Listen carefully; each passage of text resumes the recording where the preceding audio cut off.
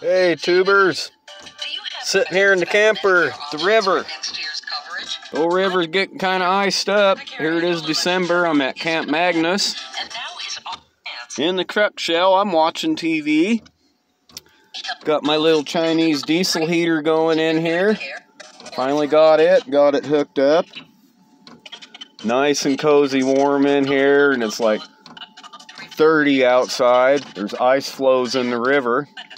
Everything's going good. I got this heater installed last night and fired it up there at the boss's house, and it worked like a charm right out the get-go. So this is my first field test. Uh, as you can see, I got the camper all set up here. I've got my samovar set up in there, so I've got hot water, and I can steam, make my coffee. I've got my little sink there. Got my fridge over here by my TV. I got my cook stove. Man, I'm just shitting in tall cotton now, tubers.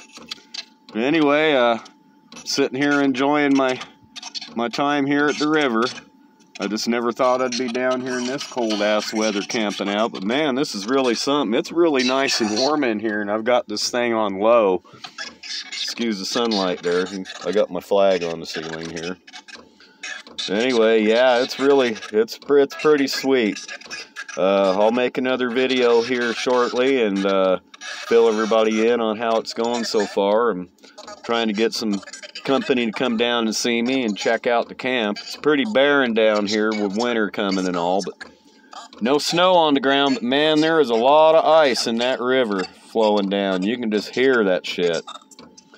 But anyway, I'm going to kick back and get warm, pull off my shoes, and maybe fix me something to eat, go have a smoke, and watch a little TV. So I'll post another, another video here later on. Peace and love, brothers, sisters. Have a good Saturday. Bye.